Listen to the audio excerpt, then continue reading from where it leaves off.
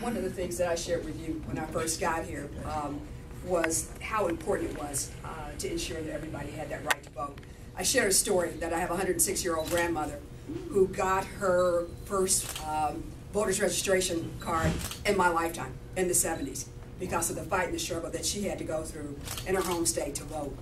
And so this is a very personal matter for me. I understand the number of people, and she's still voting. She'll be 107 in February. Wow. And so it is very, very important.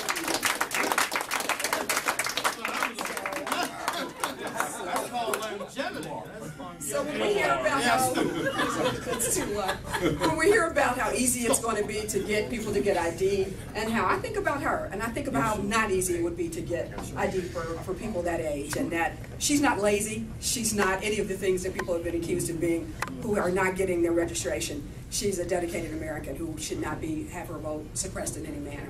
And so this is very personal, and, and it's very important to me to stand you. behind Can I ask? Yes. Does she have a person? Uh, no. See that? This is how ludicrous this bill is.